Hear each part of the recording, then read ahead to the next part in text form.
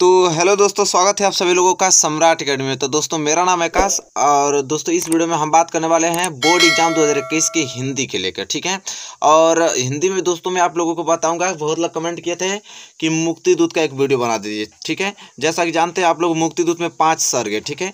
और कह रहे हैं लोग कि पाँचों सर्ग बता दीजिए, अभी ट्रिक के साथ, कोई शॉर्ट ट्रिक बताइए, बहुत लॉन्ग हो जा रहा है याद करने के लिए। तो मुक्ति दूत बहुत ही इंपॉर्टेंट टॉपिक है, बहुत ही इंपॉर्टेंट खंड का आपका है, जो कि हर बार रहता है कि मुक्ति दूत आएगा, ठीक है?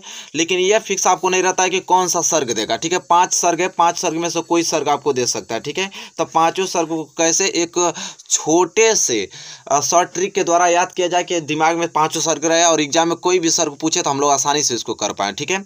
तो मैं इस वीडियो में आपको यही बात करने वाला हूँ कि मुक्ति दूत के पाँचों सर्ग कैसे आप ट्रिक के साथ, कैसे शॉर्ट ट्रिक के साथ याद कर सकते हैं, ठीक है? तो इस वीडियो में मैं यही बात करूँगा। तो वीडियो को शुरू से लेकर लास्ट तक देखना। दो सौ लाइक का मैंने स्मॉल टारगेट रखा है। इसको हमारे अचीव कराने में हमारी मदद करें। और चैनल पर आप नए हैं तो प्लीज़ चैनल को सब्सक्राइब कर लीजिए। अब कोई भी सब्जेक्ट हो, उसमें आप नाइन्टी मार्क्स लेकर चलिए, क्योंकि अब एक अच्छे ढंग से तैयारी कराई जा रही है और अच्छे ढंग से आप तैयारी भी करेंगे। तो चलिए बिना समय गए चलते हैं वीडियो की ओर। चलिए दोस्तों, देखिए, अब आ गया है मुक्ति दूत ठीक है? खंड काव्य जैसा कि देख पा रहे हैं, मैंने अपने रफ पे अच्छे हैंड राइटिंग से लिखा है आप लोगों के लिए, ठीक है? खंड काव्य मुक्ति दूत देखिए, प्रश्न आपसे किस प्रकार पूछेगा कि मुक्ति दूत खंड काव्य का सारांश लिखिए, या मुक्ति दूत खंड काव्य के फ़र्स्ट सेकेंड थर्ड या फोर्थ फिफ्थ सर्ग में किसी एक का कथा वस्तु सारांश लिखिए, ठीक है? मैं पाँचों सर्ग डिस्कस करने वाला हूँ, कोई दिक्कत नहीं होगी आप लोगों को। तो चलिए, सबसे पहले देखिए, कोई भी प्रथम सर्ग या द्वितीय सर्ग या तृतीय सर्ग या चतुर्थ सर्ग या पंचम सर्ग लिखने से पहले आपको ये आंसर में लिखना ज़रूरी होगा, ठीक है? अगर ये आंसर में लिख के तब वो लिखते हैं तो बहुत ही ज़्यादा बेनिफिट होगा। यह है कि डॉक्टर राजेंद्र मिश्र द्वारा रचित मुक्तिदूत नामक खंड काव्य गांधी जी के जीवन दर्शन का एक पक्ष चित्रांकित करता है। इस कथानक की घटना सत्य व ऐतिहासिक है। कवि ने इसके कथानक को पाँच सर्गों में विभाजित किया है, जिनमें से एक इस प्रकार है। कोई भी सर्ग लिख रहे हैं, आप आंसर में सबसे पहले आप इसको इतना लिखें और इतना लिखने के बाद तब जाके आप प्रथम सर्ग देखिए, ठीक है? अब यहाँ पे हम सबसे पहले प्रथम सर्ग देखेंगे, द्वितीय सर्ग, इसी तरह सभी सर्ग देखेंगे, और ट्रिक है, ठीक है? बहुत मैंने छोटा में एक ऐसे माध्यम से लिखा है ताकि आप समझ जाएँगे। देखिए, प्रथम सर्ग आपको हेडिंग अच्छे ढंग से लिखना है और लिखना इसमें कि इसमें कवि ने महात्मा गांधी के अलैंगिक एवं मानवीय स्वरूप की विवेचना की है, अवतारवाद की धारणा से प्रवाहित होकर।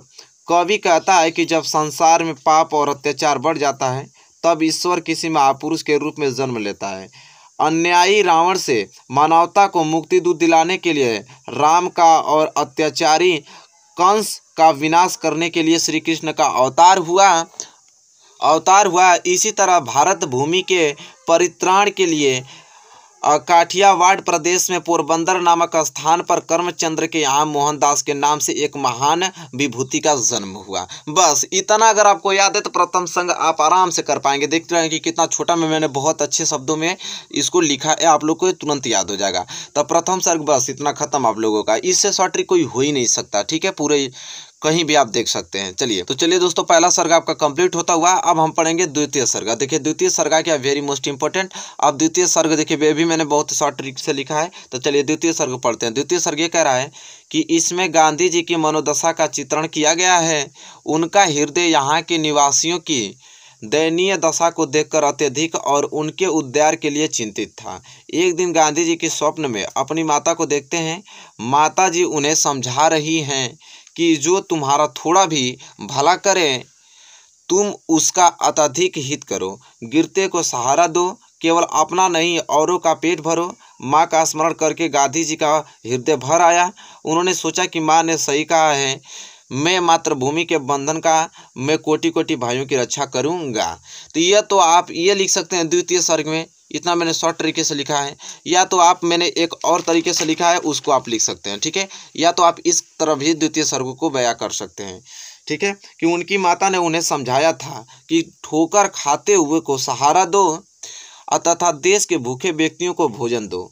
माता की वाणी गांधी जी के हृदय को स्पर्श कर गई। उन्होंने मन ही मन संकल्प किया कि वे देश के दिनहीन दिनहीन व्यक्तियों को सहारा और अपनी जन्मभूमि के बंधन काट डालेंगे।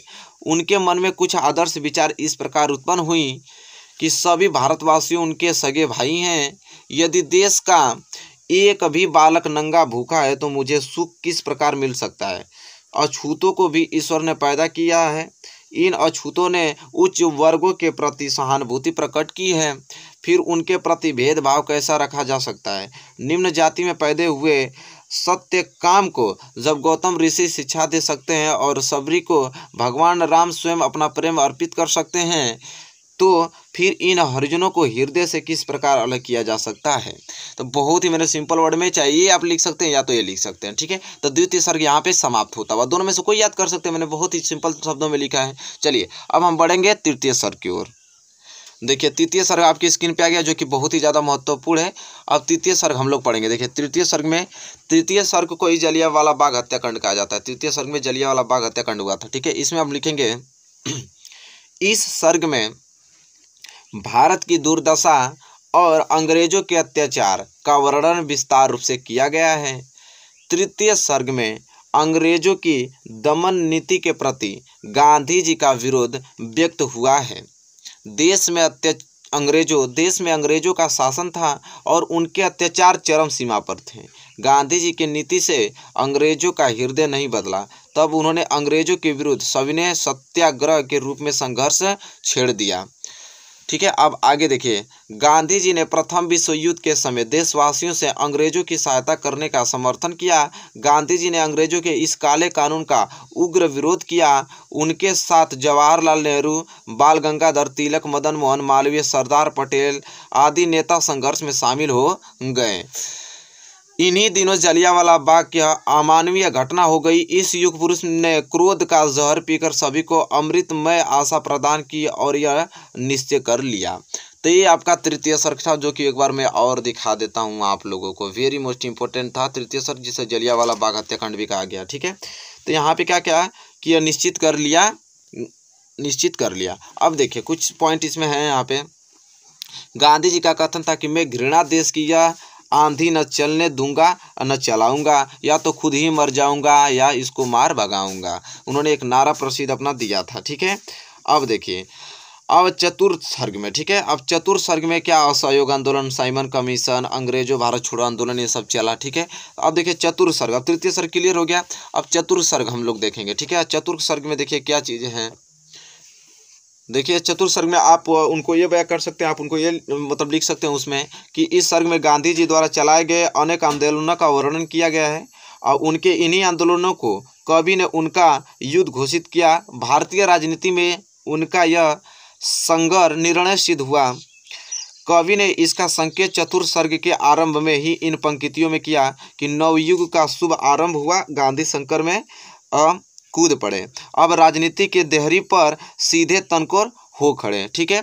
तो ये जो उन्होंने लिखा है, इसको आप लोग को ब्लैक पेन से लिखना है और जो कामा वगैरह दिया गया है यहाँ पे फुल स्टॉप और खड़ी पाई, इसको आपको ध्यान में रखते हुए लिखना है, ठीक है? तब फुल मार्क्स आपको मिलेंगे। चलिए, उसे के आगे नेक्स्ट नीचे आपको लिखना होगा यहाँ पे कि अगस्त उन्नीस सौ बीस ईस्वी में गांधी जी ने असहयोग आंदोलन प्रारंभ किया, जनता ने विदेशी शासन का बहिष्कार किया, अंग्रेज़ों द्वारा दी गई उपाधियों को लौटा दिया गया तथा नौकरियों को छोड़ दिया। इस असहयोग आंदोलन को देखकर अंग्रेज़ों की बड़ी निराशा हुई, ठीक है? तो उम्मीद करता हूँ कि यहाँ तक आप लोगों ने नोट कर ली होंगी। इसके आगे मैं आप लोगों को बताता हूँ। देखिए, इसके आगे आप लोग को लिखना है कि गांधी जी ने, देखिए साइमन कमीशन जो मेन पॉइंट इसको आप ब्लैक पेन से लिख के अंडरलाइन कर सकते हैं नीचे, ताकि एग्जामिनर का फोकस वहीं पे जाए। गांधी जी ने साइमन कमीशन का भी विरोध किया। भारतीयों के द्वारा किए गए तिरस्कार के परिणाम स्वरूप अंग्रेज़ हिंसा पर उतर आए। इसी तरह इस आंदोलन में पंजाब केसरी, लाला लाजपत राय भी सम्मिलित हो गए। संपूर्ण देश हिंसक क्रांति प्रारंभ हो गई। गांधी जी ने भारतीय जनता को समझाया और उसे अहिंसा के मार्ग पर चलने की प्रेरणा दी। उन्होंने नमक कानून तोड़ने के लिए डांडी यात्रा की, उन्हें गिरफ़्तार कर लिया गया। इसके बाद संपूर्ण देश में सत्याग्रह आंदोलन छिड़ गया। कुछ दिनों बाद गांधी जी ने अंग्रेज़ों भारत छोड़ो आंदोलन प्रारंभ किया। अब देखिए, आगे लिखना आप लोगों को कि सब जगह एक ही स्वर सुनाई पड़ता था कि अंग्रेज़ों भारत छोड़ो स्थान स्थान पर सभाएँ की गई, विदेशी वस्त्रों को होलियाँ जलाई गई, अंग्रेज़ों को शासन करना दुभर हो गया। उन्होंने दमन चक्र चलाया तो गांधी जी ने इक्कीस दिन का अनशन कर दिया। इन्हीं दिनों कारागार में गांधी जी की पत्नी की मृत्यु हो गई। वे इस अप्रत्याशित आघात से व्याकुल अवश्य हुए, परंतु पत्नी के स्वर्गवास ने अंग्रेज़ों के विरुद्ध उनके मनोबल को और अधिक दृढ़ कर दिया। ठीक है? अब देखिए, कुछ पॉइंट और लिख लीजिए इसमें कि कवि इसका चित्रण करता हुआ कहता है कि बूढ़े बाबू की आहों से कारा की गुंजी दीवारें। बन अबाबिल चित्कार उठी थराए उसी मीनारे। ठीक है? तो यह सब कहावत आपको लिख लेना है उसमें। ठीक है? और यहाँ से चतुर्थ सर्ग आपको क्लियर होता हुआ अब हम बढ़ेंगे पंचम सर्ग की ओर। देखिए, अब पंचम सर्ग आपकी स्क्रीन पे आ गया है। अब देखिए, चतुर्थ सर्ग तक क्लियर हो गया। पंचम सर्ग, उसे जिसे अंतिम सर्ग भी बोला जाता है। ठीक है? देखिए, अब पंचम सर्ग में क्या है कि खंड काव्य के, देखिए लिखा है, खंड काव्य के पंचम सर्ग में अंग्रेज़ों की निराशा का वर्णन किया गया है इसमें स्वतंत्रता प्राप्ति तक की प्रमुख घटनाओं का वर्णन है। कारागार में गांधी जी के अवस्थ होने के कारण सरकार ने उन्हें मुक्त कर दिया। द्वितीय विश्व युद्ध के बाद विश्व की राजनीति बदलने लगी। इंग्लैंड के चुनाव में मजदूर दल की सरकार बनी। फरवरी उन्नीस ईस्वी में प्रधानमंत्री इटली ने जून उन्नीस से पूर्व अंग्रेज़ों के भारत छोड़ने की घोषणा की। भारत में हर्षोल्लास छा गया। तब मुस्लिम लीग ने पाकिस्तान के नाम से अपना अलग राष्ट्र बनाने की मांग की। गांधी जी को भारत के विभाजन से महान दुख हुआ। मोहम्मद अली जिन्ना पाकिस्तान के बनाने की अपने मांग पर अड़े रहे हैं। भारत का विभाजन माउंट बेटन योजना के आधार पर हुआ। भारतीय स्वतंत्रता अधिनियम उन्नीस सौ सैंतालीस के आधार पर आधार पर 15 अगस्त उन्नीस सौ को भारत स्वतंत्र हो गया और देश की बागडोर जवाहरलाल नेहरू के हाथों में आ गई। गांधी जी ने अनुभव किया कि उनका स्वतंत्र का लक्ष्य पूर्ण हो गया, अतः वे संघर्ष राजनीति से अलग हो गए। उन्होंने कहा कि लड़ाई मेरी हुई, समाप्त विदाओं, जीवन के जंजाल, नया गांधी बन गया, तुम्हें स्वदेश करेगा प्यार, जवाहरलाल नेहरू ने कहा था। फिर उन्होंने देखिए यहाँ पे खंडकाव्य के अंत में गांधी जी भारत के उज्जवल भविष्य की कामना करते हुए और इसी के साथ खंडकाव्य कथा वस्तु समाप्त हो जाती है, ठीक है? तो यहाँ पे पाँच सर्ग बहुत मैंने सिंपल तरीके से आप लोगों को बयां कर दिया। उम्मीद करता हूँ कि वीडियो आपको अच्छी लगी इसे किसी न किसी तरह से तैयार कर लीजिएगा कि इससे सिंपल अब कुछ नहीं हो सकता है, ठीक है? इतना सुविधाएँ दिया जा रहा है आप लोगों को, मैंने हेड राइटिंग में अपने खुद लिखा है। तो उम्मीद करता हूँ कि आपको वीडियो अच्छी लगी तो प्लीज़ इसे लाइक कीजिए और ज़्यादा से ज़्यादा इस वीडियो को शेयर कीजिए। तब तक के लिए दोस्तों, धन्यवाद, मिलेंगे आपसे नेक्स्ट वीडियो में।